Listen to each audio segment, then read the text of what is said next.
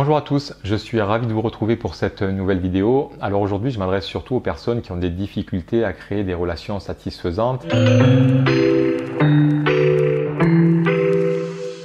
ou qui sont dans des relations insatisfaisantes finalement et euh, soit ben, qui restent dans ces euh, relations et qui du coup peuvent être un peu parfois frustrés, un peu peinés, ou alors aux personnes qui vont finalement un petit peu se retirer du monde, s'isoler et forcément, pour rester quand même un minimum en équilibre et dans quelque chose d'assez confortable, en principe, quand on fait ça, on se crée un peu une prison dorée, une tour d'ivoire, je ne sais pas comment on peut appeler ça, mais vous voyez, pour quand même être bien quand on est isolé, alors si les personnes restent chez elles, elles vont peut-être investir, voire surinvestir dans la décoration, dans le fait de rendre leur maison de plus en plus confortable, mais des personnes aussi qui vont se créer des passions, ça peut être le jardinage, les personnes vont passer de plus en plus de temps à jardiner parce que finalement, c'est plus le reflet quelque part de leur, euh, de leur manque de relation à l'extérieur qui fait qu'elles sont poussées à avoir une activité que le simple fait de vraiment adorer le jardinage. Voyez Donc l'un peut aller avec l'autre, mais là ce que je cherche vraiment à, à dénoter ou à mettre en lumière, c'est vraiment est-ce que je fais du jardinage parce que finalement eh bien,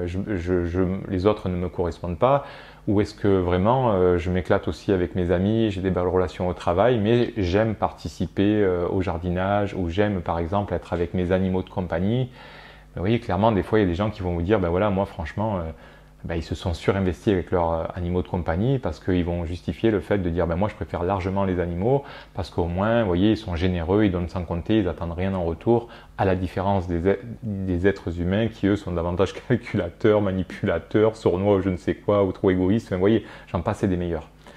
Parce que pour moi, ça, ça, reflète davantage, encore une fois, votre difficulté à créer du lien euh, ou alors à créer euh, quelque chose de satisfaisant que réellement euh, le plaisir d'être avec les animaux. Vous voyez, il y a des gens qui adorent être avec les animaux, mais si à côté de ça, ils s'éclatent avec leur entourage, il n'y a aucun problème.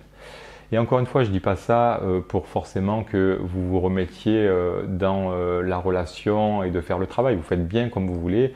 Le truc, faut, je pense qu'il faut juste être au, au, moins un peu clair avec soi-même. Et moi, c'est vrai que ce que j'aime beaucoup, surtout pour les personnes au potentiel qui cherchent à conscientiser leurs différences, s'il y a bien aussi quelque chose qu'il faut comprendre, c'est que c'est certainement pas avec des personnes similaires que vous allez pouvoir conscientiser vos différences. Donc pour moi, les personnes traditionnelles, même si c'est avec ces personnes que vous allez avoir le plus d'inconfort et le plus de tension, de par souvent des, euh, vous voyez, c'est souvent des quiproquos, c'est souvent des malentendus en réalité, hein. c'est rarement des problèmes de fond. Mais vous allez avoir beaucoup plus de facilité à identifier vos différences avec des gens différents qu'avec des gens qui sont un petit peu similaires à vous, vous voyez. Aujourd'hui, moi j'avais envie de parler un peu voyage parce que quand on rencontre quelqu'un, finalement, c'est un peu un voyage qu'on s'offre ou qu'on refuse en fonction ben, de, nos capacités à nous ouvrir à l'autre, justement. Et parce que quand on voyage, par exemple, avec une personne euh, similaire à nous, c'est beaucoup plus facile, c'est beaucoup plus agréable. Vous voyez, un haut potentiel avec un haut potentiel, en principe, c'est beaucoup plus facile. Alors, il suffit en plus qu'ils aient des euh, sujets un peu communs, enfin des, passions communes ou quoi. Alors là, ça part direct. De suite, ça va dans beaucoup de profondeur.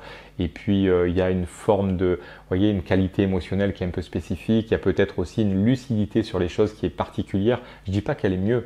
Je dis surtout qu'elle est différente, donc forcément ça matche davantage.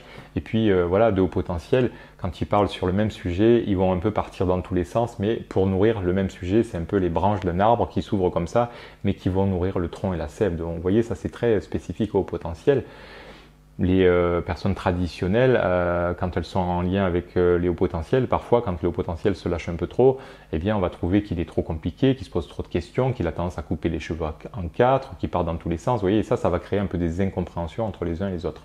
Bref. Donc on va continuer à parler voyage, et c'est vrai que pour moi, l'idée d'être, si vous êtes au potentiel avec des personnes traditionnelles, c'est que ça va être beaucoup plus évident de mettre en lumière vos différences et parfois peut-être même de conscientiser des qualités que vous avez aujourd'hui banalisées. Donc ça pour moi c'est juste incroyable, donc on en parle un petit peu, un petit peu plus tard. Alors euh, on continue dans la dimension des voyages et euh, quand je parle de voyage, je parle de voyage, ça, va être visuel, ça va être euh, olfactif, ça va être un peu tout. Hein. Mais voyez quand par exemple, si vous êtes dans, votre salon actuellement et si je vous pose la question de comment, euh, comment quelle odeur ça a chez vous, alors à moins que vous ayez fait une paella ou une aioli un quart d'heure avant, hein, mais globalement, si vous êtes depuis dans votre salon depuis un moment, ça va être difficile pour vous de m'expliquer l'odeur qu'il y a chez vous. Moi, c'est pareil, si je me pose la question là, en toute honnêteté, c'est difficile pour moi, je ne sais pas trop. Alors que si je vais faire un tour dehors, que je prends le temps de bien m'imprégner de l'odeur qu'il y a à l'extérieur, l'odeur de la nature, ou même si je viens chez vous dans votre salon, je vais sentir la différence. Et quand je vais revenir chez moi, je vais sentir peut-être des odeurs de cuir, vous voyez les canapés en cuir autour de moi, il va y avoir peut-être aussi une odeur de bois ou de vernis, j'ai du parquet, j'ai une table de ferme, enfin vous voyez, et de la peinture, enfin peu importe. Ça va être beaucoup plus facile pour moi de conscientiser les odeurs qu'il va y avoir dans mon environnement à partir d'une référence extérieure. Et euh, ben, c'est ce qui est intéressant parce qu'en réalité, c'est un peu ce que nous faisons avec les autres, mais on a tendance à évaluer. Alors je m'explique, c'est-à-dire que quand on rencontre une personne qui est différente, on va évaluer sa façon de communiquer, on va évaluer sa sensibilité, soit on va dire tiens, par rapport à moi, euh, cette personne a moins de sensibilité, et puis là je trouve que par rapport à mes références, en fait on, fonctionne beaucoup comme ça, on fonctionne par rapport à ses propres références, voire à ses idéaux, eh bien on va évaluer la personne, et donc on va l'évaluer en disant bah, tiens cette personne euh, j'aime pas sa manière de communiquer parce que moi euh, dans mes idéaux c'est pas du tout comme ça que ça marche. Et puis en fait toute cette évaluation va en réalité créer davantage de jugement. Voyez? Alors on a beau dire oui non je juge pas. Euh, je crois que la réalité c'est que c'est quand même une forme de jugement les hauts potentiels en moyenne détestent les jugements mais ils aiment surtout pas qu'ils soient exprimés. Vous voyez, une personne qui, qui, qui, va être en jugement dans la discussion, ça va pas passer. En principe, on n'aime pas trop ça.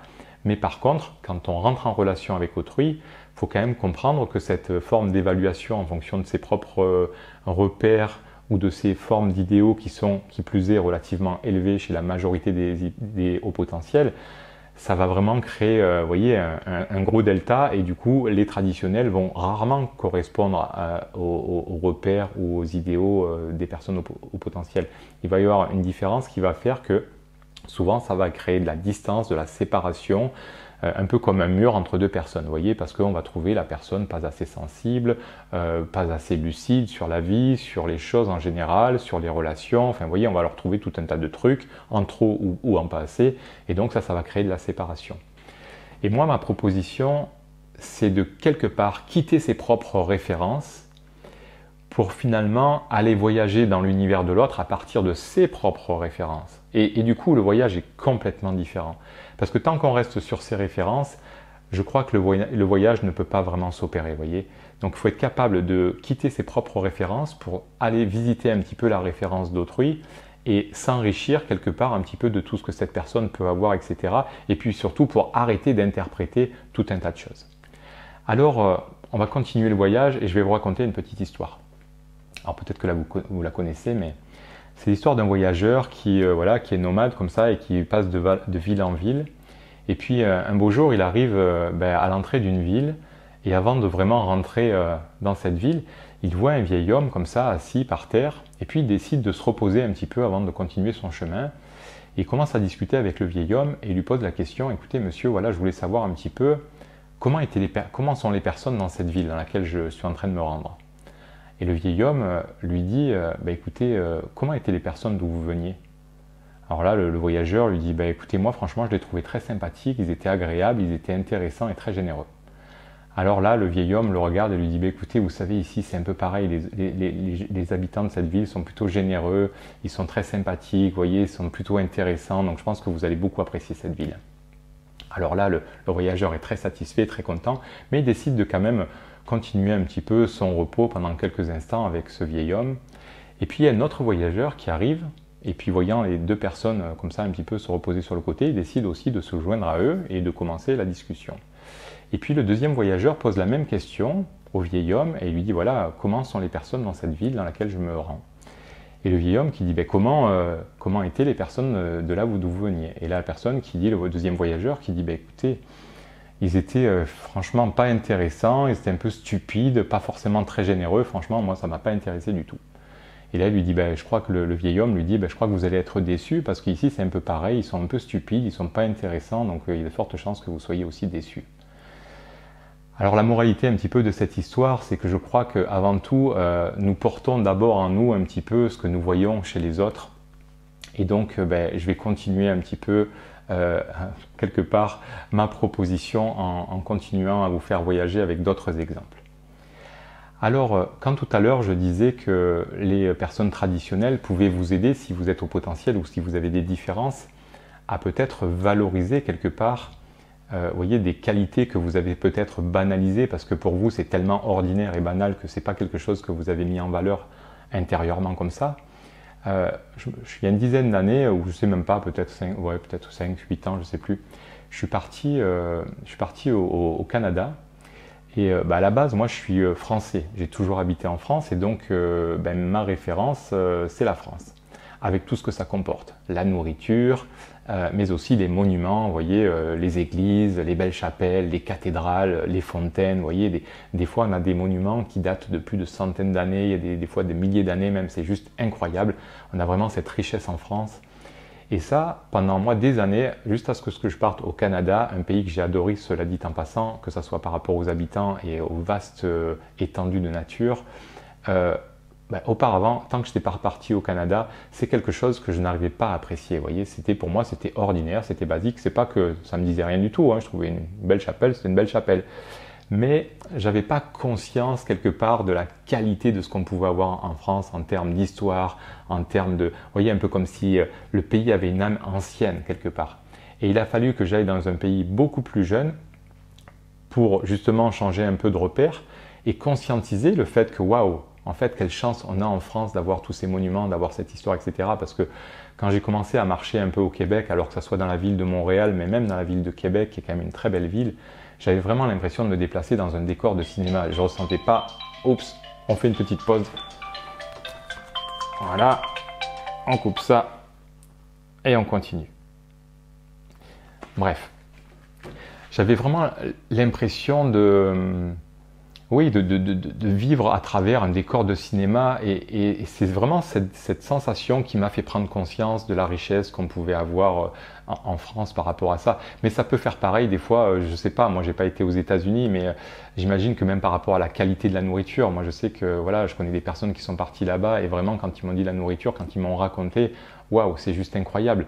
Donc c'est vrai que parfois, le fait de, faire un voyage comme ça, ça nous permet de voir un petit peu ce qu'on peut avoir chez soi. Mais c'est pareil intérieurement au niveau de l'individu. Euh, souvent, les hypersensibles, par exemple, se, battent un peu avec leurs émotions. Ils ont du mal à, vivre ces intensités émotionnelles, etc. Bon, pour plein de raisons que je ne vais pas citer ici. Mais euh, personnellement, moi, j'ai jamais autant apprécié et valorisé euh, ma sensibilité depuis que j'accompagne aussi des personnes qui en ont un petit peu moins et sur lesquels je les mets un petit peu sur le, chemin de développer cette écoute intérieure, de les sensibiliser à leurs émotions, etc. Vous voyez, donc c'est vraiment euh, quelque part mettre en avant et mettre en lumière des fois des qualités ou des capacités ben, qu'on avait un peu prises pour acquis et du coup qu'on ne pouvait pas vraiment mettre en avant et, et, dont on ne pouvait pas se servir davantage consciemment. Vous voyez, donc ça c'est déjà très intéressant. Il y a une deuxième chose aussi euh, qui m'est arrivée, et là c'est vraiment plus sur un, plan relationnel. Euh, alors il y a pareil, une dizaine d'années, l'été, je travaillais euh, avec une personne, alors j'ai, enfin, je travaillais dans des entreprises et je travaillais dans une entreprise qui posait des voiles d'ombrage, vous savez, sur les terrasses, dans les jardins, etc. Et j'étais en binôme avec quelqu'un qui était vraiment très différent de moi. Euh, différent, euh, différent hein. c'est-à-dire que quelqu'un qui était très vulgaire, un, gros mot tous les trois mots, j'exagère à peine, hein. euh, qui manquait de respect à, beaucoup de monde, mais vraiment c'était dans la forme, c'était juste waouh, pour moi c'était juste incroyable quoi. quand, quand, on allait chez les clients en voiture, des fois c'est lui qui conduisait, il conduisait vraiment, mais il respectait aucune limitation de vitesse, il grillait les stops, franchement c'était juste hallucinant, il conduisait en fumant la clope ou, autre chose, enfin, bref c'était juste dingue pour moi. Et c'est vrai que quelque part, ben, j'ai évalué cette personne en rapport à mes références à moi et j'avais beaucoup de mal avec cette personne. Vraiment, je la trouvais euh, pas très sympathique, j'avais pas beaucoup de, quelque part, euh, pas d'empathie, mais vous voyez, voilà, c'était vraiment très, waouh, très challengeant pour moi. Et euh, il fallait que je passe 8 heures avec cette personne plusieurs jours par semaine. Donc vous voyez, ça, a été du sport. Mais euh, ce qui s'est passé quand même, c'est que au bout de quelques jours, ben, voilà, je, l'ai côtoyé, je l'ai côtoyé. Ce qui se passait, c'est que tous les matins, lui, il arrivait avec la banane, il arrivait avec une énergie de dingue, avec plein d'entrain. Enfin vraiment, il était très enthousiaste, etc. Et euh, ben, moi, ce que je comparais par rapport à moi, forcément, on compare, on évalue. Hein, euh, ben, je me suis dit, tiens, c'est dingue quand même, parce que moi, avec à l'époque, j'avais déjà fait pas mal de travail personnel, etc. Je dis avec tout ce que je connais sur le développement personnel, avec tous les thérapeutes que j'ai vu, etc. Mais je suis pas foutu d'avoir le même entrain. J'ai pas du tout la même joie de vivre, vous voyez. Et euh, c'est vrai que ça m'a interpellé. Et à partir de là, je crois que j'ai euh, quitté ma référence pour essayer de comprendre parce que je me suis dit c'est pas possible que quelqu'un qui soit aussi peu précautionneux avec les autres, assez égoïste, vraiment je, le jugeais hein, mais à bloc, hein, c'était vraiment je le jugeais dans, toutes ses dimensions. Il avait droit à tous mes jugements, hein, vous voyez bien sévère. Alors moi je me l'avouais pas à l'époque, mais c'est ce qui se passait en réalité. Euh, mais j'ai quitté en fait, j'ai quitté mes jugements pour essayer de comprendre, parce que vraiment ça m'agaçait. Je me dis c'est pas possible. Comment ça se fait que quelqu'un qui fait aussi peu attention aux autres, qui qui se prend pas la tête, etc., puisse aussi, enfin, être aussi épanoui? Et en fait, à force de l'explorer, à partir de son point de vue, à force d'essayer de, me rapprocher de lui, j'ai vraiment compris que cette personne, en fait, elle s'en demandait pas beaucoup. Alors, je suis pas en train de dire que peut-être qu'elle aurait dû s'en demander un peu plus, ça, c'est pas à moi de dire. Hein. Mais par contre, ça m'a vraiment permis de conscientiser le fait qu'elle s'en demandait vraiment pas beaucoup et que c'est le fait qu'elle s'en demande pas beaucoup finalement qui lui permettait d'être beaucoup plus douce avec elle-même, beaucoup plus tolérante, beaucoup plus cool. Et par opposition, moi, c'est par un peu par miroir inversé, vous voyez, c'est ce que je, tout ce que je n'étais pas en fait. Moi, j'étais très exigeant, euh, euh, très euh, dur avec moi-même, voyez, et forcément, ça empiétait complètement sur mon énergie, sur ma vitalité, sur mon moral parfois, sur mon entrain. Et donc aujourd'hui, et même à l'époque déjà, alors je ne l'ai pas dit directement, mais je remercie vraiment cette personne pour le cadeau qu'elle m'a fait. Alors c'était pas intentionnel, mais quelque part, la vie m'a offert ce voyage et je crois que j'ai su descendre un petit peu de mon piédestal pour aller visiter un petit peu ce qui se passait chez lui et j'ai pu en tirer quelque part quelque chose sur lequel moi j'étais beaucoup trop dur, vous voyez, avec moi-même, etc. Donc finalement, je le jugeais dans des choses que moi je ne m'autorisais euh, peut-être pas assez finalement. Et donc c'est très intéressant d'aborder les choses comme ça parce que finalement, euh, souvent c'est ce qu'on a tendance à faire quand les autres ne nous plaisent pas, on a tendance à créer un petit peu de la distance et je crois que ce serait super intéressant de prendre un peu sur soi en termes d'inconfort et de visiter l'espace d'autrui pour vraiment apprendre davantage sur nous-mêmes. Vous voyez, je crois que dans les grandes lignes, je ne dis pas que c'est une loi euh, universelle, mais je crois qu'avant tout, on n'aime pas chez l'autre euh, ce que l'on n'aime pas d'abord en soi ou les choses avec lesquelles on a des rapports assez euh, durs, assez tendus, vous voyez. Donc c'est vraiment des parties de soi des fois que l'on rejette complètement ou avec lesquels on va avoir un rapport relativement dur. Et c'est vrai que les autres nous permettent vraiment cet effet miroir, ce feedback pour euh, ben, conscientiser où nous en sommes avec nous-mêmes. voyez, mais sans l'autre, comment faire ce chemin quoi? S'il n'y a pas, on va dire, un feedback extérieur qui va vous mettre un petit peu dans votre inconfort émotionnel, c'est très compliqué de faire ce processus parce que de toute façon, c'est l'émotion inconfortable qui va vous amener euh, en vous là où c'est pas suffisamment en amour, là où c'est pas suffisamment en empathie, en bienveillance. Vous voyez un peu la, dynamique qu'il peut y avoir. Alors, j'espère que cette vidéo va peut-être vous permettre euh, ben, d'aborder euh, les choses différemment ou du moins, en tout cas, dans un premier temps, d'envisager de peut-être voir les choses différemment et, de rentrer en relation avec autrui d'une manière peut-être euh, un peu différente pour peut-être moins être dans le jugement, pour peut-être moins évaluer à partir de votre propre référence, mais davantage quitter un petit peu vos propres euh, références intérieures et vos idéaux pour oser explorer l'univers de l'autre à partir de ses propres références et voir un petit peu ce qu'il en est soit vous allez vous apercevoir que waouh, de son point de vue, vous avez quand même de belles qualités qui ont été euh, peut-être parfois vraiment banalisées, qui n'ont pas forcément été valorisées, donc au niveau d'estime, ben, c'est pas top. Soit vous allez prendre conscience ben, de ce que vous portez en vous et que vous n'aimez pas aussi. Et puis parfois, vous allez simplement comprendre, euh, moi je le vois beaucoup en termes de communication, ben, qu'il vous manque le décodeur et que parfois on est beaucoup dans l'interprétation de ce que va dire l'autre, de ce qu'il en pense, etc. Alors qu'en réalité, Parfois, on emploie les mêmes mots, mais simplement, on n'emploie pas les mots de la même manière. Et euh, ben, je crois que chacun croit avoir raison.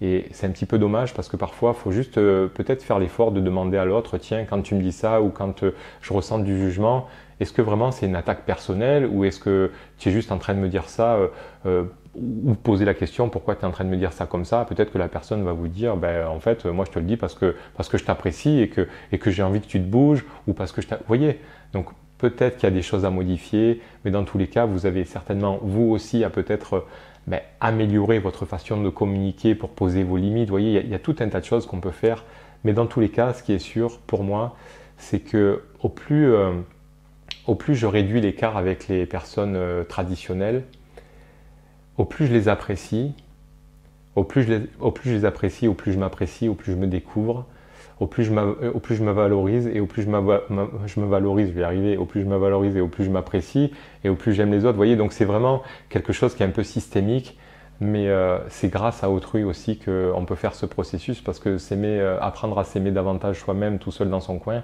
je dis pas que c'est pas faisable. Il y a des moines tibétains apparemment qui font ça, euh, mais, je trouve que c'est beaucoup plus efficace quand euh, voilà, les tensions sont là, quand il y a des incompréhensions. Au moins, ça met beaucoup plus en lumière avec l'intensité émotionnelle les choses peut-être sur lesquelles vous allez pouvoir grandir, évoluer, vous enrichir. Et pour conclure, j'ai envie de dire, ben, rappelez-vous, euh, les voyages les plus enrichissants et les plus nourrissants ne sont pas forcément les plus agréables. Parfois, ils nous permettent juste de passer un cap pour nous aimer davantage, pour être plus en paix, pour être plus épanoui. Donc voilà, je clôture avec ça. J'espère que cette petite vidéo vous aura plu. N'hésitez pas à me mettre ben, vos impressions en commentaire, vos anecdotes, à me poser des questions éventuellement, à me contacter au besoin et puis euh, ben, vous inscrire à, ma chaîne, à vous abonner, à partager, bref, vous connaissez la musique. Et, voilà, moi je vous souhaite vraiment euh, ben, de, vivre euh, de belles relations avec autrui, d'apprendre vraiment avec eux, de faire quelque chose de complémentaire et d'enrichissant plutôt que de quelque chose de complémentaire, enfin de plutôt différent qui sépare. Voyez. Bon, j'arrête, c'est déjà beaucoup trop long. Je vous souhaite un bon cheminement, de très belles relations et puis moi je vous dis à bientôt pour de nouvelles vidéos. Bye bye, salut.